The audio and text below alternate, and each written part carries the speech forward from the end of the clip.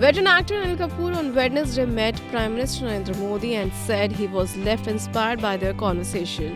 I had the opportunity to meet our Honorable Prime Minister Narendra Modi ji today, and I stand humbled and inspired in the wake of our conversation. His vision and his charisma are infectious, and I'm grateful for the chance to have witnessed it in person.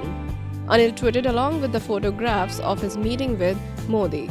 Last week, film fraternity members like Karan Johar, Ranveer Singh, Ranbir Kapoor, Alia Bhatt, and Vicky Kaushal also met Modi in the capital.